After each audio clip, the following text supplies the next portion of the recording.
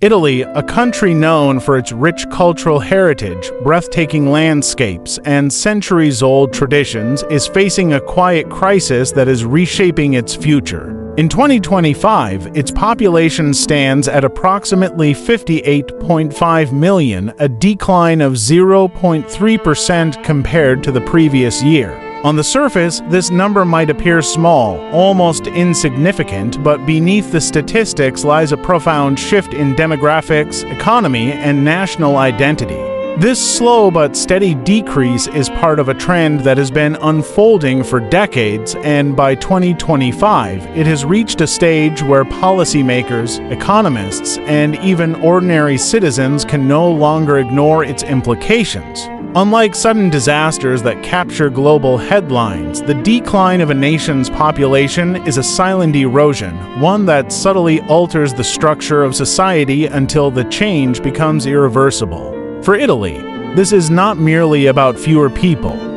It is about the reshaping of cities, villages, industries, and even the national psyche. The roots of Italy's population decline stretch back to the late 20th century when fertility rates began to fall well below the replacement level of 2.1 children per woman. Economic challenges, changing cultural values, and shifting family structures all contributed to the trend. In the 1970s and 1980s, Italian families were already beginning to have fewer children, often stopping at one or even none. Over time, this became not just a choice, but a norm. The cost of raising a child in Italy, particularly in urban centers like Rome, Milan, and Florence, soared alongside housing prices and job insecurity. Young couples began to delay marriage and parenthood, prioritizing education, careers, and financial stability. The result was a generation entering their 30s without children and another following them with even less inclination toward large families. By the 2000s, Italy's demographic decline was becoming noticeable, especially in rural areas. Small towns in regions like Molise, Calabria, and Sicily saw their populations shrink rapidly as younger residents moved to larger cities or abroad in search of better opportunities. In many of these places, schools closed for lack of students, shops shuttered, and homes fell into disrepair. By 2025, some villages have populations where the median age is well above 60, and children are a rare sight. This imbalance between the young and the elderly is one of the most striking features of Italy's demographic crisis. It is not just that there are fewer people, but that the population is aging rapidly. The aging population poses significant challenges for Italy's economy and social systems. With fewer working age individuals, the labor force is shrinking, putting pressure on productivity and economic growth. At the same time, the number of retirees is increasing, straining the pension system and healthcare services. Italy already has one of the highest life expectancies in the world which is a testament to its healthcare system and lifestyle. But in the context of a declining and aging population, it also means that a smaller base of workers must support a growing number of dependents. This creates fiscal challenges that are difficult to resolve without either increasing immigration, raising taxes, or cutting benefits, each of which comes with political and social resistance. Immigration has, in recent decades, been seen as one potential solution to Italy's demographic crisis. Migrants from Africa, Eastern Europe, and Asia have helped fill labor shortages and kept some small towns alive. However, immigration alone has not been enough to reverse the decline, and it has sparked political debates about integration, cultural identity, and the future of the Italian nation.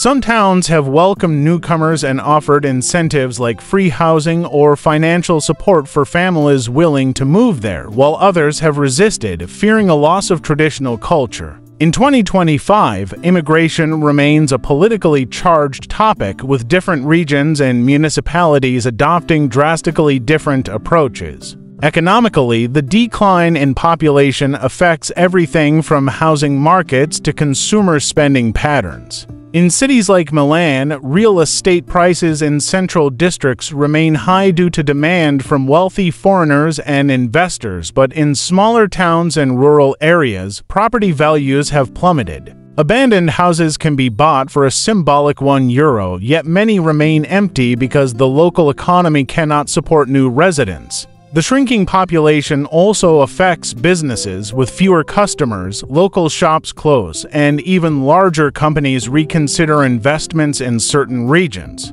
Public transportation services are reduced or discontinued in low demand areas, further isolating communities and making them less attractive to potential newcomers. Culturally, the decline in population is reshaping traditions.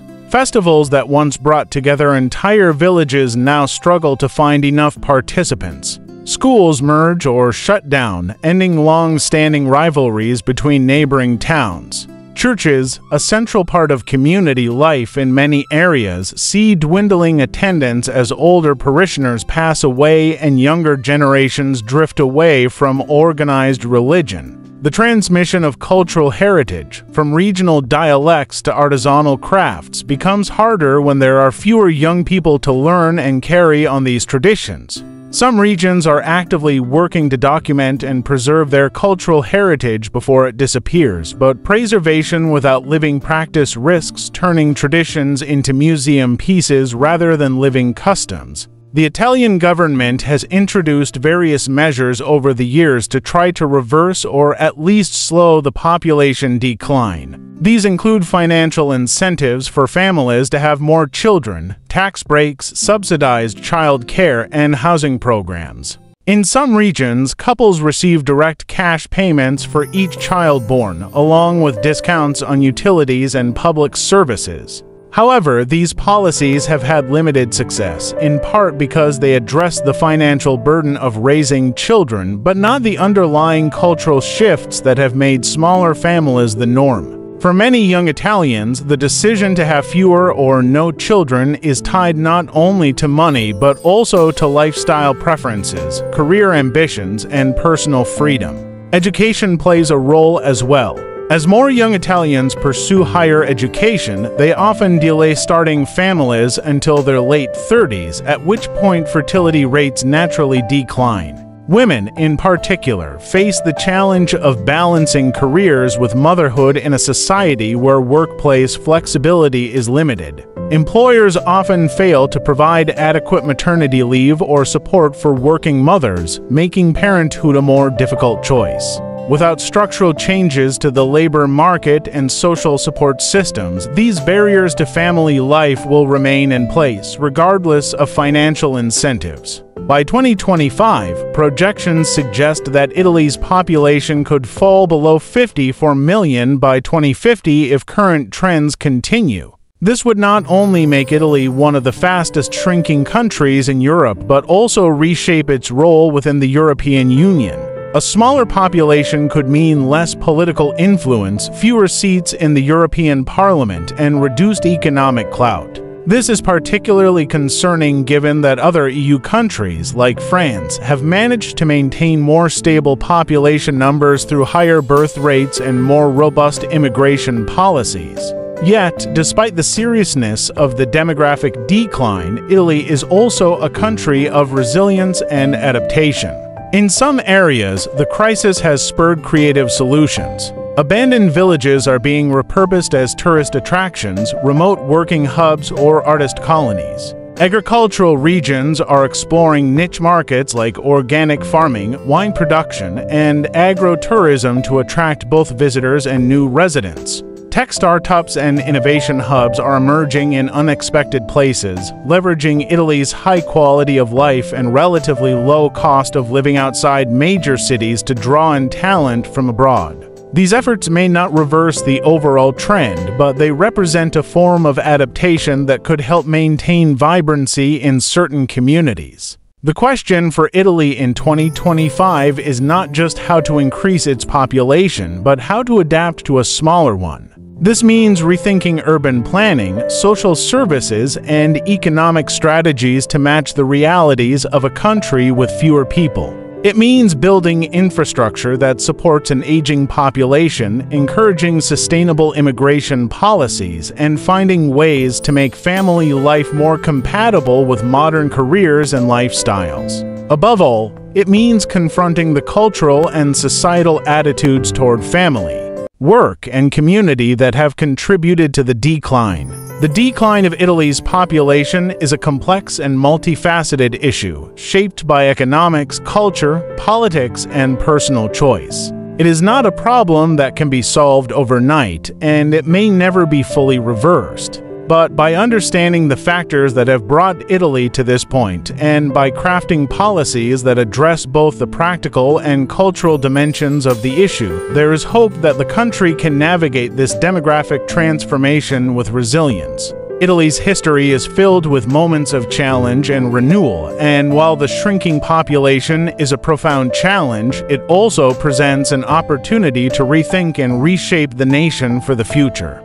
The Italy of 2050 may be smaller in number, but it could still be vibrant, prosperous, and deeply connected to its heritage if it chooses to adapt with foresight and determination.